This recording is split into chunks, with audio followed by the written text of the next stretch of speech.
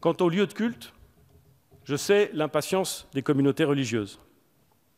Les lieux de culte pourront continuer à rester ouverts. Mais je crois qu'il est légitime de demander de ne pas organiser de cérémonie avant euh, cette barrière du 2 juin. Les cérémonies funéraires resteront évidemment autorisées, comme aujourd'hui, dans la limite de 20 personnes. J'ai parfaitement conscience de la charge et de la difficulté face à des décès d'appliquer cette règle, mais elle est formulée en France comme dans d'autres pays euh, comparables, afin, là encore, de protéger euh, les vivants.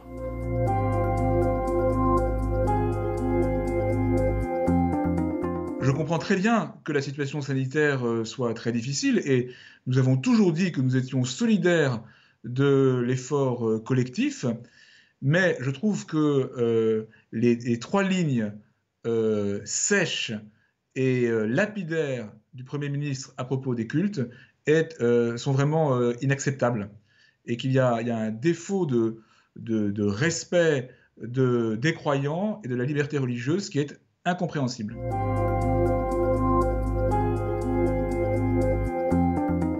D'abord, euh, et je le comprends très bien, le, souci très lourd pour l'exécutif d'avoir à, accompagner cette crise sanitaire, et donc je comprends très bien que ce soit euh, éprouvant euh, et, extrêmement euh, difficile. Et donc, euh, voilà, il ne s'agit pas de jeter la pierre sur ce point.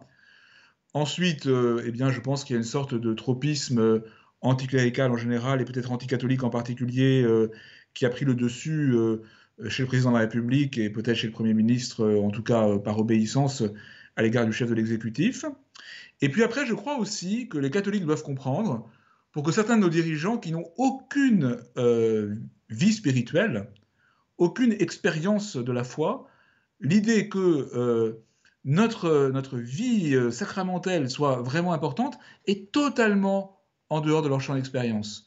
Et donc pour eux, c'est tellement quantité négligeable le, le questionnement spirituel que dans un contexte où la responsabilité, encore une fois je le dis, politique est très lourde, et où en plus il y a des équilibres partisans euh, importants à gérer, eh bien les questions spirituelles passent à la trappe.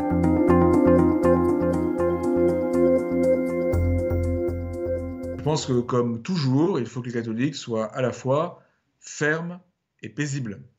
Donc il ne s'agit pas de, s'énerver, il ne s'agit pas d'entrer dans un esprit euh, de révolte, mais en même temps, il faut dire euh, de différents moyens, euh, combien, par différents moyens, combien nous sommes choqués de la manière, quoi qu'il en soit du fond, de la manière de traiter la question des cultes dans cette crise.